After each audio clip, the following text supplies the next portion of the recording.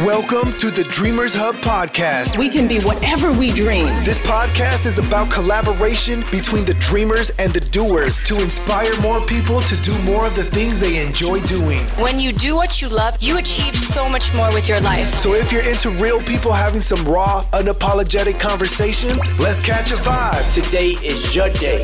And now, Nedi. What up, what up, what up? Welcome back to the Dreamers Hub podcast.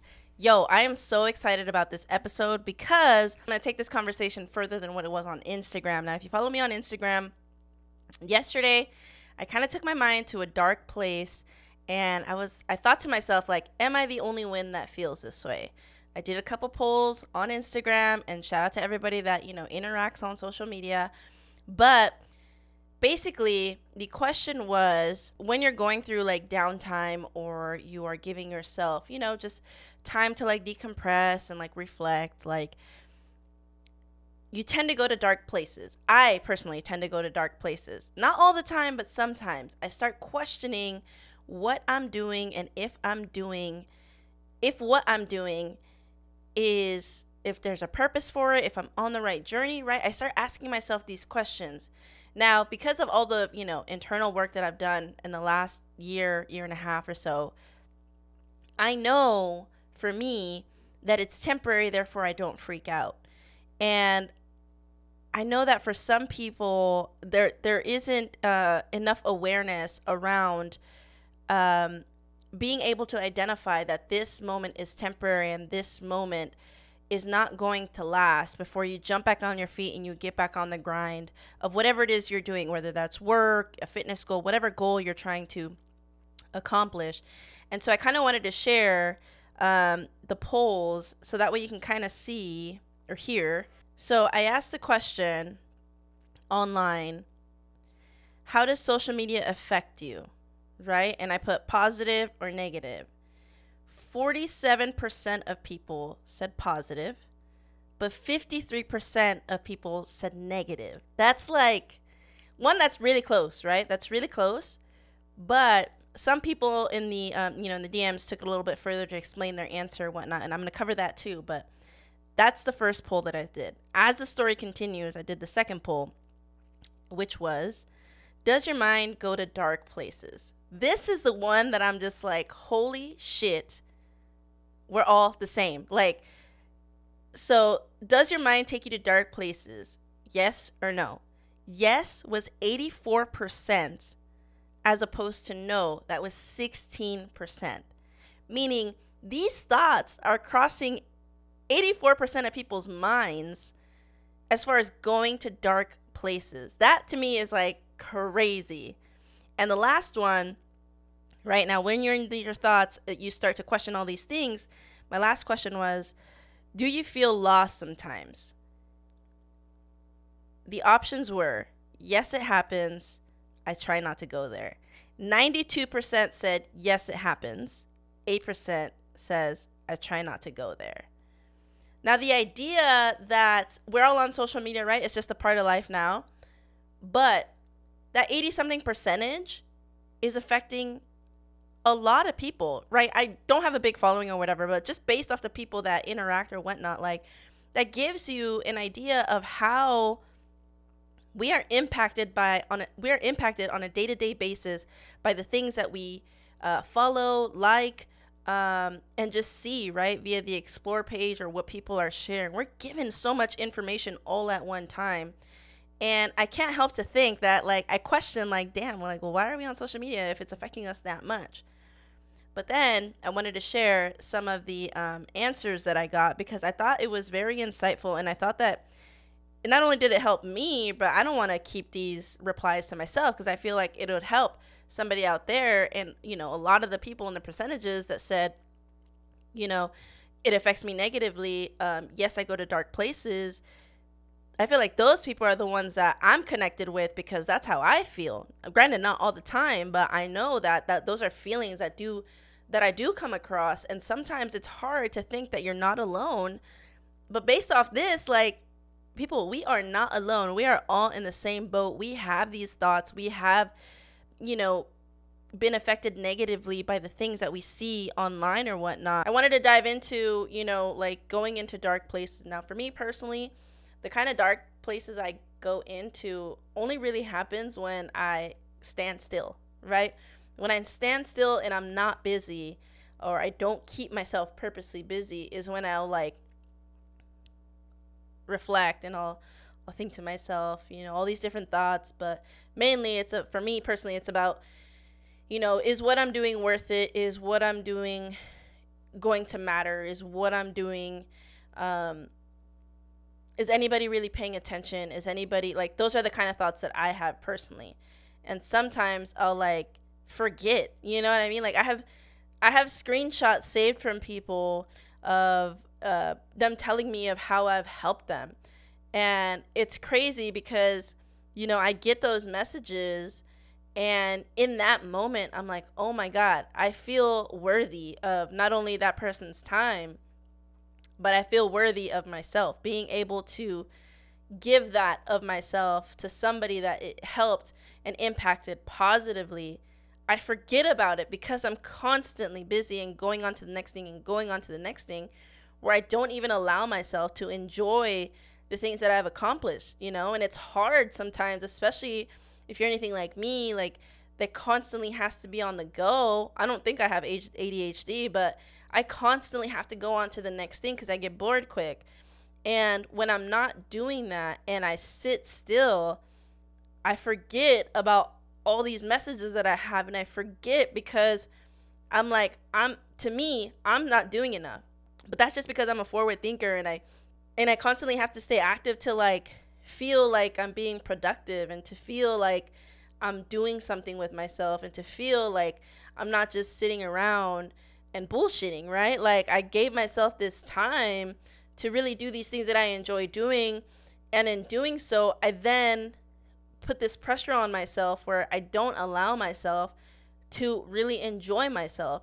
So if you saw me in July on social media, I was doing the absolute most trying to enjoy myself, right? And even while doing so, it's so hard as anybody who is just a fucking go getter, a workaholic. Like, it's so hard to enjoy downtime without thinking in the back of your head, like, damn, I kind of feel guilty for not making anything. I kind of feel guilty. Like, and that's all self imposed, right? And I think for a lot of us, it's all these self imposed pressures that are subconsciously creating via the internet because we're given so much content constantly. And you're just like, damn. For me, I look at other people, I'm like, damn, they're really posting every fucking day. And I'm just like, damn, I don't know if I could do that. And then I start questioning myself and I'm like, well, what if what I post is just going to be quality things that I actually want to post, right? I don't want to force the situation.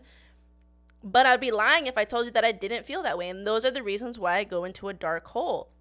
Now, for other people, it could be, you know, family issues or, you know, relation, failed relationships, or it could be all these other things. You know, people are going through life and you know, for those people that go into dark places and for the people that, you know, mention that in the polls, like, yes, it happens, at dark places happens, like, just know that all that is temporary. Like, I just can't, like, say that enough is like, all those feelings are temporary. Work through those feelings, though. Don't ignore them. Don't make yourself busy. Like, work through those feelings, emotions, fear, anger, imposter syndrome, all those things. Like, sit with yourself, force yourself to get uncomfortable because it's not until you do so that you'll be able to really, really be able to catch yourself before diving into this dark hole and not being able to get yourself out or just taking forever to get yourself out. Where it's like, as long as you are acknowledging and you're feeling like, okay, this is the reason that I'm feeling this way,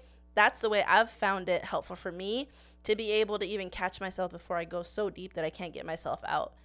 And I, I wanted to share that because you know, so many of us are feeling that way. And I want to make sure that I'm able to tell you or explain to you how I get out of it and how I catch myself. So maybe it'll help one person listening to this or watching this um, to not fall into that. You know, a lot of people said, like, damn, I didn't realize after I answered the poll that that many people felt that way, right? Which is very interesting because at this point now we're talking about there's more people that know that they're not alone about feeling the way that they do, you know? And obviously on social media, not everybody is posting like, "Damn, I don't feel good today. I don't feel not okay. I don't feel okay today." Like nobody's really posting that unless you're somebody like me cuz I'll tell you straight up like, "I don't I don't feel right or something's off or, you know, I need time I need away time from social media like that's what I use my platform for, right? Because I think it's important to have those conversations and those are necessary necessary conversations because Instagram is not real. And I've said this before, Instagram is not real, right? It's just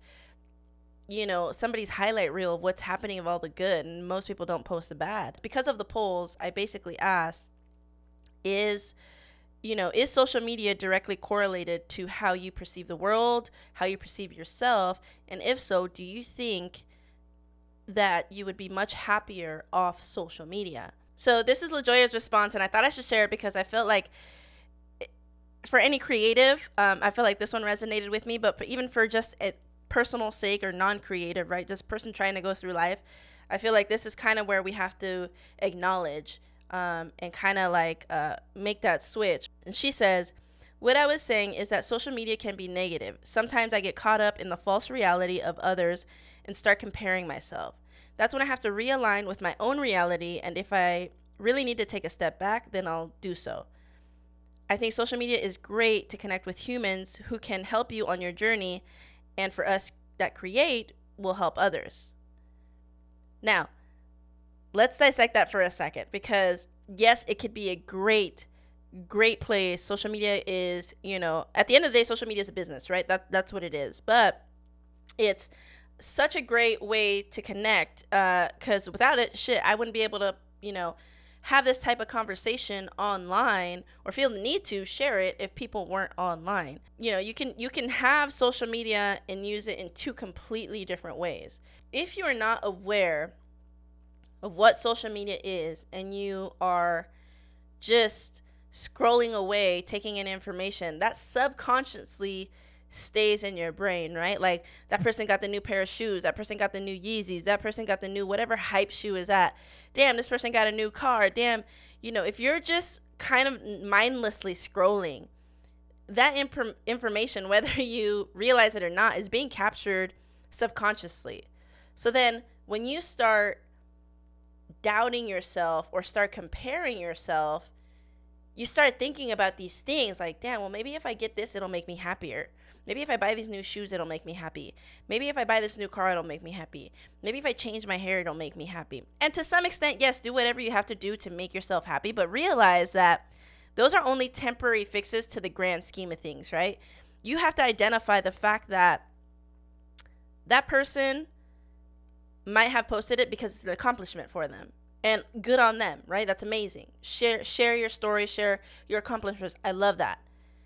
But for the people that aren't aware of the mindless scrolling and how it social media can affect you internally, that's to the people like to those people, I just want to say like take a time out because what you are following and what you're watching really affects how you navigate this world. You might not need those new pair of shoes. You don't need another pair of shoes. You probably have enough shoes, right? And I'm just using shoes because that's like the biggest thing right now, right? The the shoe culture is super huge and I love shoes, don't get me wrong. Um, I try not to buy into that, but yeah, it gets me sometimes too, and that's normal, right? We're human. At the end of the day, that's a materialist. That that's material stuff, right? It's all replaceable, and it's not really going to be as fulfilling as you know quality time or whatever the case realizing that has been a big uplift in my own mindset and um, a big reason why I just don't compare myself. I just stop comparing myself to people because it's just not it's not healthy. It's not going to go anywhere, right? And then there's people like myself and other creators that I enjoy following that post, you know, the not so good days. That post like, "Damn, today I was battling with this." And those are the people that I resonate the most with. And and that is like what I want people to resonate with me with because I'm going to talk to you about the not so good days. I'm going to talk to you about shit. I am human. I'm working through a lot of things, right? And I'm doing my best every single day. Is every day perfect? No. Is every day an up? No. Sometimes I have downs. Sometimes they're just moments in a day, right? Like yesterday, which is the whole reason why I even brought this topic up. Like yesterday, I was so high up, and then I got time to myself. I showered, I relaxed, And then all of a sudden I just found myself just going like snowballing into like this downward like black hole and I was like, "Whoa, let me pull back a little bit cuz this is like it's scary sometimes if you don't know how to like catch yourself before you fall into this dark hole. Like and I feel like people fall into that and it's so hard to get out of. Trust me, I know. I've done it before. Like it's so hard to get out of. But if we're not having these conversations, then we can't normalize this type of conversation. This is a healthy conversation. This is a conversation that needs to be had with your friends, your family members. Like, vulnerability is a superpower. Like, the minute that you can be like, damn, I'm feeling this way, and you can have that conversation with whoever, right? Whoever you're comfortable with to have that conversation, like, that's a win and that win needs to be celebrated. And slowly those small wins that you have like damn you start to normalize like damn i'm not the only one that feels this way. I'm not the only one that looks at other things online and like damn i'm starting to feel shitty about myself you know? Like it's hard not to do that trust me i know. But realize that you're not alone. Realize that everybody goes through these things. And it's really really really up to you to start unfollowing and unsubscribing from not even just online, right? Unfollowing and subscribing, but just unsubscribe from people. Un unfollow and unfriend people that are just not healthy for you. There's so many people that are so toxic because toxicity right now is like the cool thing to do. Like, yeah, you know, memes are funny or whatever, but like that's that's like some people's real life that they're living and can't even identify it as toxic because they're numb to the idea that this is normal and social media is making it look cool. Toxicity is not cool. Unhealthy relationships are not cool. Somebody controlling you is not cool, right? Just like the same way that social media tries to control people to think like this is what you need to be happy. No, at the end of the day, it's not. You're going to buy those new shoes and then you're going to go on to the next pair of shoes and then the next pair of shoes. You're going to get this new hair and then you're going to do this next hair and then this next hair. Like, I am all for people making themselves feel better but let's start internally, people. Internal is the most important because your internal, at the end of the day, like the internal part is what actually comes out of you, right? To, to the external, to the external world. If you're ugly inside, people are going to see that at some point. There's only so many pairs of shoes that you can buy. There's only so many pairs of clothes that you can get. Like, that that's not that's not it. It is not it. And i just i want to say and i keep saying shoes like shout out to everybody that loves shoes whatever that's your hobby that's awesome i love that. Um but that's the easiest thing that i can correlate to like the this feeling of needing needing and needing because that's what social media makes you want. It makes you want these things right? Like that's a job of social media. It's a business the social media is meant to keep you on the platform for as long as possible. So what do they do? They push out the content that's going to keep you there. And when you're subconsciously scrolling through these things, it just retains in your head. And what's going to happen? Right? You go into a page, you look up some shoes, you look up, you know, this shirt, you look up some sunglasses, what's going to happen? Social media is going to remind you like, "Hey, remember you said you kind of wanted this? Well, I'm going to show this to you constantly." Now, if we look at it from that perspective and you start thinking, like, damn, what accounts am I following? You're following, you know, car pages, shoe pages, all that stuff. That's all you're going to get. But now let's say you unfollow that and maybe you just start liking content that's uh, around mental health, content that's around bettering yourself, content around entrepreneurship. That's what you're going to keep seeing. And so, depending on how you use social media, yes, it could be negative and it could be positive. Or maybe you just don't give social media that power to affect you in any which way and you're neutral. There there are some people that have that, right? But any human being is going to fall into one of those categories most of the time. And very and as we saw in the polls, very few people, less than 20%, said that social media doesn't affect them in a negative way. And I personally feel that social media does play and is a huge impact on how people feel about themselves, on how people navigate the world because we correlate likes on the internet to make us feel like yes we're liked more or no we're not liked at all because we're not getting the likes that we think that we should be getting because at the end of the day likes do not equal to real people liking you in real life. Like that shouldn't even matter right? Being i think being able to not only have this conversation but you know, even after this episode, if you could take it a step further and analyze and maybe, you know, take inventory of the things that you're following, the things that you're liking, whether on Facebook, whether on Instagram, whether on uh, TikTok. Those are all algorithms designed for you. So the less that you like of all these materialistic things and things that make you feel like shit about yourself, and the more that you like of the things that make you feel good about yourself and a human again, I think that's where the people that feel that social media affects them negatively can then at that point switch over to have social media have a positive effect. And when social media has a positive effect and you find community within that application, it's a great application, right? Because you can connect with so many people. And that's a major positive for me is being able to have a community of people that I can talk to, of people that I can normalize these feelings that nobody seems to talk about because everybody's so focused on posting all the good stuff. And you know at the end of the day for me it's about building community right? It's not about the money. I'm not making any money doing this shit. Like I, i'm just more focused on like damn these are thoughts and ideas that i think about and i just want to put out into the world. There was this podcast that i watched uh, with russ um, and he said we're all surrounded by other people's ideas and that's huge for me. I was like, holy shit, that is so true.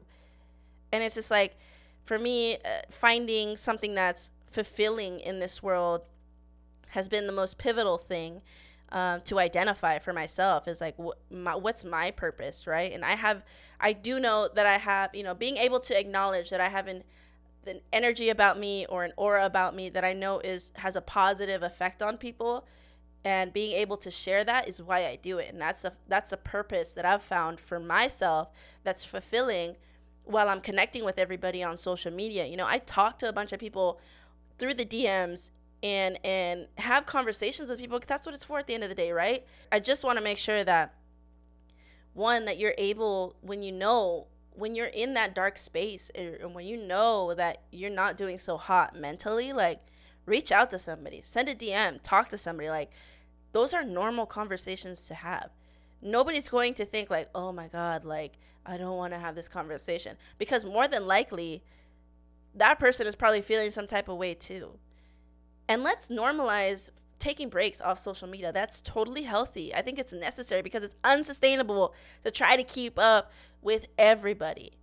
Right? Like in real life, we really don't keep up with people the way we probably should right? Because we have social media, and so we look at it and they're like, ah, they're okay, they're doing fine, they seem like they're doing fine. But really, what's behind that curtain, right? That curtain is just all things good on social media. There's so much more depth to people.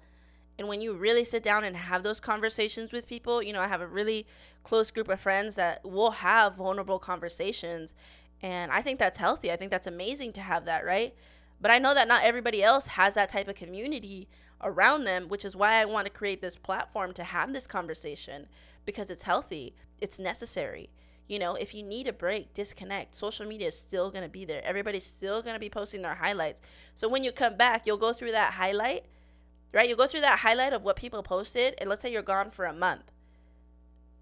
In probably 15 minutes, you're able to catch up with everybody else. So trust me, you're not going to miss out on anything it's okay to take that break if you're not okay. Make yourself be okay before you jump back online and be able to identify that, you know, following this person, I, I'm not about what this person's about.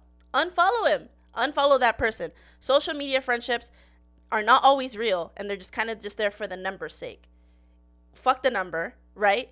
If that person is posting things that you're not about, that you can't correlate with, that you can't identify with, then unfollow that person unfollow the toxicity, unfollow all those people because if it's fucking with you mentally, then it's not worth your peace of mind. It's just not worth your peace of mind. So it's okay to unfollow people and if you see them around like, "Hey, you know what?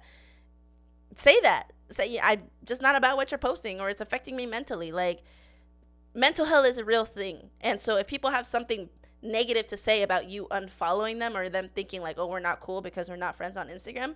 I say, "Fuck that. That's not a real friendship anyway." So go about your business. Go about your business, but go about your business in a way that you want, that you can control. Because at, at the end of the day, whatever you're subscribed to, whatever you're following, whoever your friends are, whatever you're subscribed to online, those are that's what you're allowing in and you're in control and you should be in control about what you're allowing in and what you're not allowing in your peace of mind is worth a lot more than that one follow. Your peace of mind is worth a lot more than that like. Your peace of mind is worth a lot more than trying to keep up with everybody online. We we have to be able to create a balance, right, of real life and social media. We have to be able to create that balance for the sake of our mental state. We have to be able to create that balance so that we're not going fucking crazy, you know, because you're not fucking crazy for thinking the way that you're thinking. You're not crazy to think that social media can negatively impact you if you're not using it properly. I sometimes I, I think about like, damn, like if I'm an adult and I struggle with social media and identify like I'm able to like step back and be like, whoa, this is a business, right? Like let me just take a step back and let me just like shake this off, this feeling. I can't imagine for the new generation that didn't grow up with having no internet, right? People that have only grown up with knowing what the internet is like those those kids like that's what i'm scared about like damn being a kid and dealing with social media the way it's impacting us even as adults to think that somebody who's so impressionable is going to be dealing with these same emotions at such a young age. It's a scary thought but it's also a very a very much realistic thing that's happening right now is how do you keep a balance of you yourself not being online all the time, but also implementing that in your children so that way they don't grow up with all these um, issues of comparing and uh, you know not being able to socialize in person like not have like there's so many kids that go through that kind of thing and i've seen it you know? Like it's just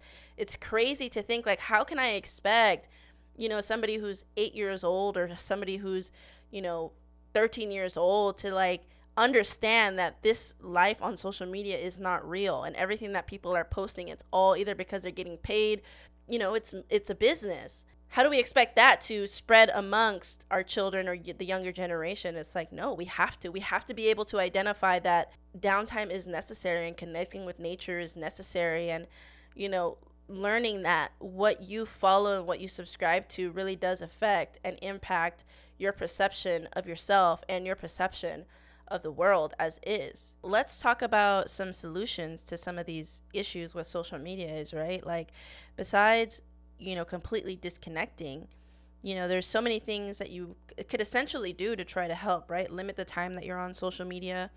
Um, obviously unfollow and unsubscribe off certain people that don't make you feel good about yourself on social media um, you know, have a shut off switch for everybody, you, the family, where there's no screen time, you know, and maybe put implement certain routines or habits um, that are going to help you better yourself, better your mental health, whether that's, you know, being physical and working out um, prior to jumping on social media or waiting to get on social media prior to, you know, an early morning routine or, um, you know, me- maybe reading a chapter of a book, um, get into books uh, audiobooks, um, something to supplement just not being on social media for so long or long periods of time. Being able to set timers maybe for yourself, right? Um, I, I was talking to somebody on on online, and it's like being able to, you know, shut yourself off. You have restrictions on an iPhone that you can set for yourself for your kids um, to completely log off, you know, for the time being, and